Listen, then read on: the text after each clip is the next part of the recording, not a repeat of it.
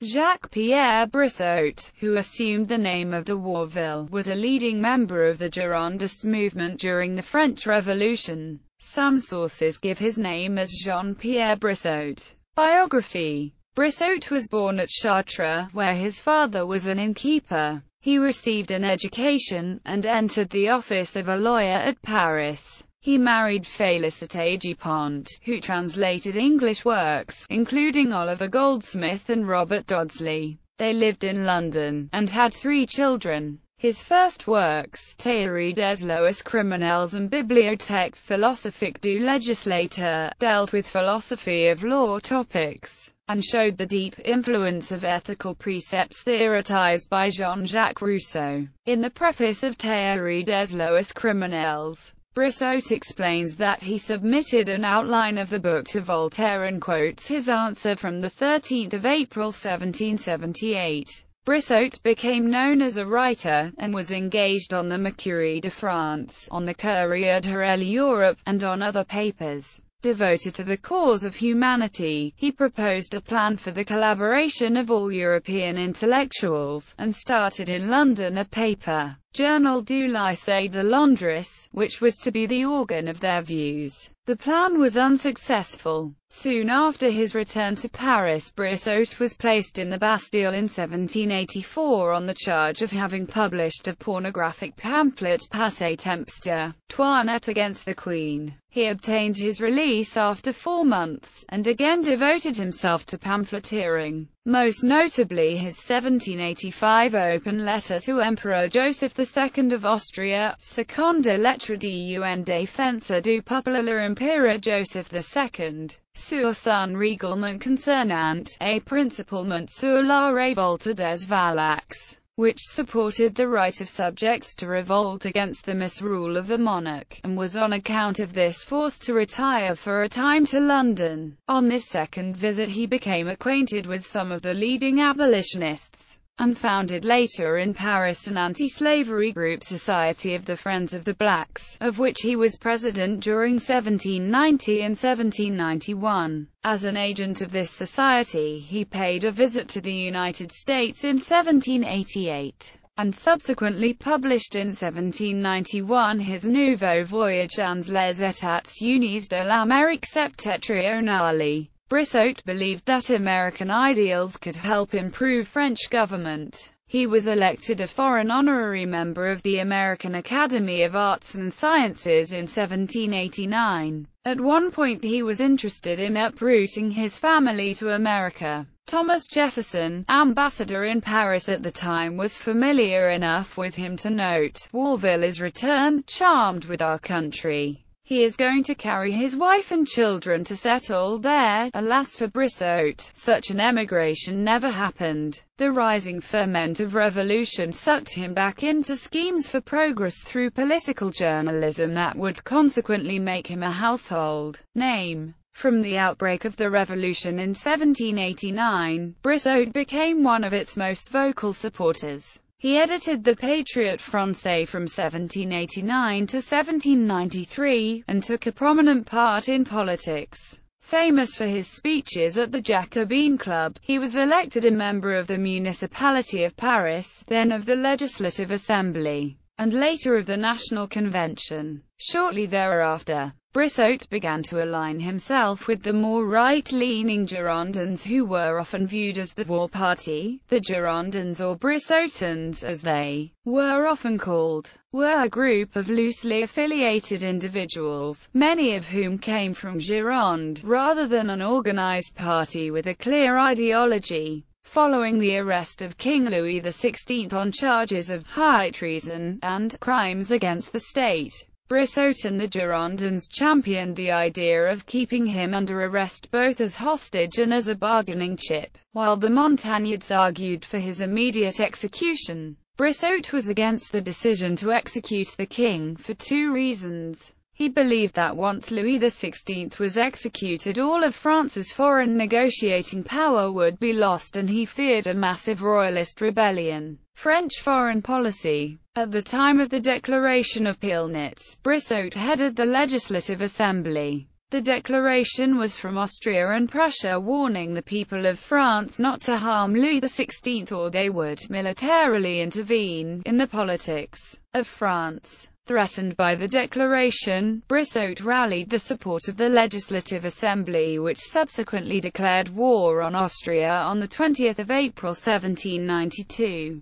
This decision was initially disastrous as the French armies were crushed during the first engagements, leading to a major increase in political tensions. During the Legislative Assembly, Brissot's knowledge of foreign affairs enabled him as member of the diplomatic committee to control much of France's foreign policy during this time. Brissot was a key figure in the declaration of war against Leopold II, the Habsburg monarchy and that against the Kingdom of Great Britain on 1 February 1793. It was also Brissot who gave these wars the character of revolutionary propaganda, arrest and execution. The Encyclopaedia Britannica 11th edition remarks that, of the Girondists, Vergniaud was the better orator, but Brissot was quick, eager, impetuous, and a man of wide knowledge. However, he was indecisive, and not qualified to struggle against the fierce energies roused by the events of the Revolution. Brissot's stance on the king's execution,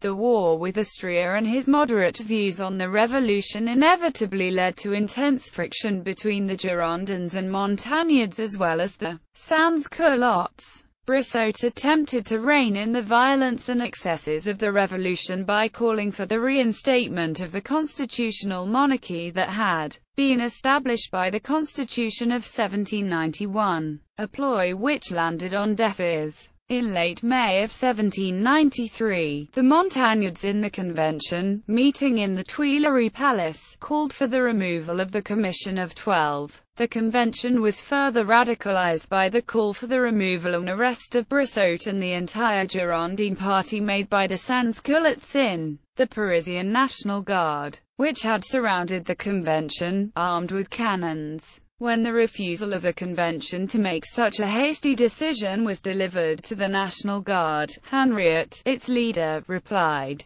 Tell your stupid president that he and his assembly are doomed, and that if within one hour he doesn't deliver to me the 22, I'm going to blast it. With this threat of violence, the convention voted, and on 2 June 1793, Brissot along with 28 other members were arrested. Brissot was one of the first Girondins to try and escape, but was also one of the first captured. First passing through his hometown of Chartres on his way to the city of Caen, the center of anti-revolutionary forces in Normandy. He was caught traveling with false papers on 10 June, and was taken back to Paris. On 3 October, the trial of Brissot and the Girondins began. They were charged with being agents of the counter-revolution and of the foreign powers, especially Britain. Brissot, who personally defended himself, brought up point by point the absurdities of the charges against him and his fellow Girondins. Regardless of their efforts, on 30 October the death sentence was delivered to Brissot and the other 21 Girondins. The very next day, the convicted men were taken by tumbril to the guillotine, along the way singing La Marseillaise, embracing the role of martyred patriots.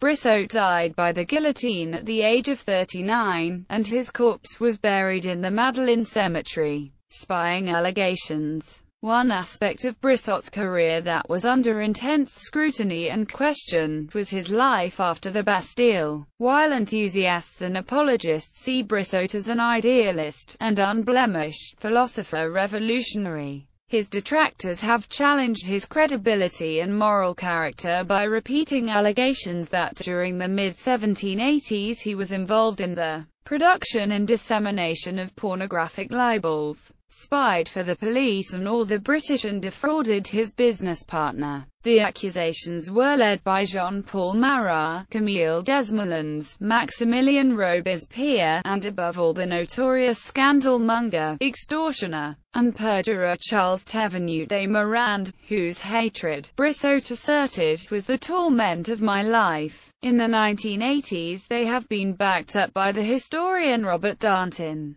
They accused Brissot of being a police spy, saying that he was plotting against the revolution he had once stood behind. Brissot was sent to court to defend himself on many occasions from these accusations. Darnton argues that Brissot on a personal level was not in support of the revolution, and had gone to a police station where he asked if he could be of assistance.